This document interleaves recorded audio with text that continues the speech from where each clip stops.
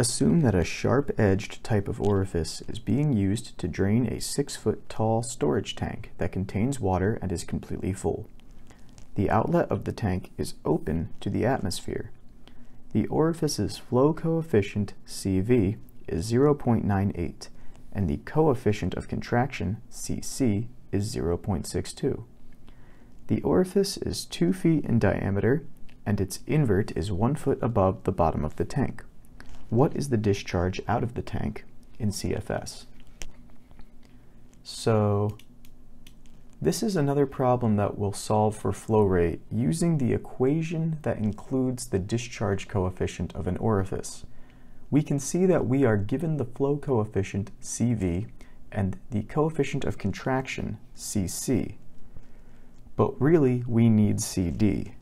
However, we can find that easily, either calculating it from CC times CV or pulling CD directly from the reference manual. The second factor we need to make sure we get correctly is H, the height of the fluid above the orifice.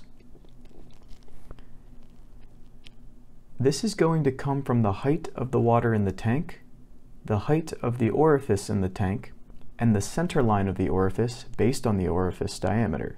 So let's get solving.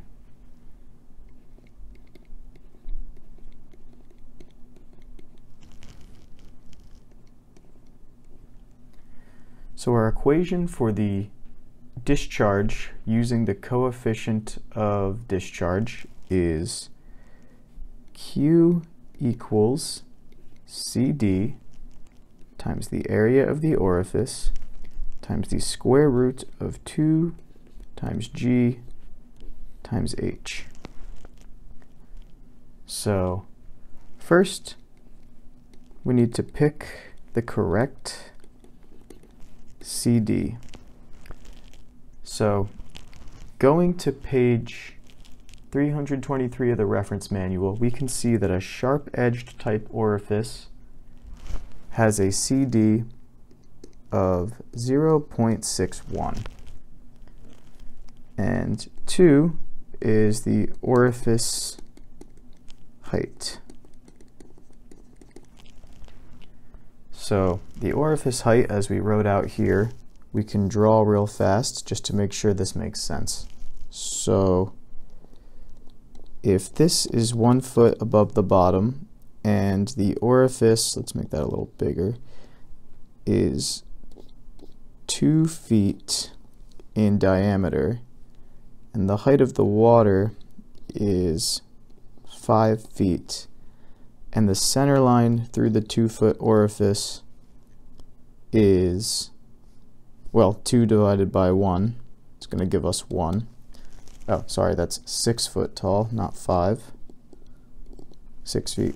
So we would have 6 feet minus 1 foot minus 2 over 2. Wow, I really am not getting my denominators correct today.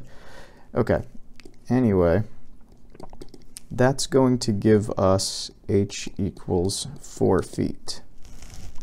And now all we have to do is plug all of our knowns into the equation.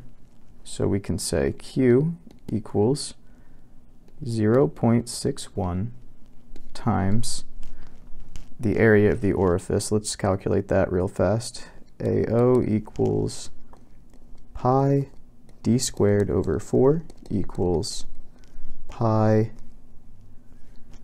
2 feet squared over 4 equals 3.14 feet squared.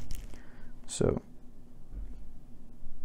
3.14 feet squared times, I can already tell I'm going to take up too much space, so let me just move that down, times the square root of 2 times 32.2 feet per second, feet per second squared times 4 feet for our height.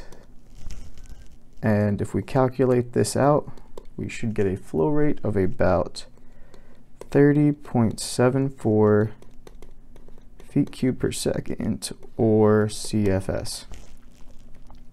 And that's closest to our answer of 31 here. Now, depending on if we had picked another CD by accident or had incorrectly calculated for a different height, we may have gotten one of these other answers.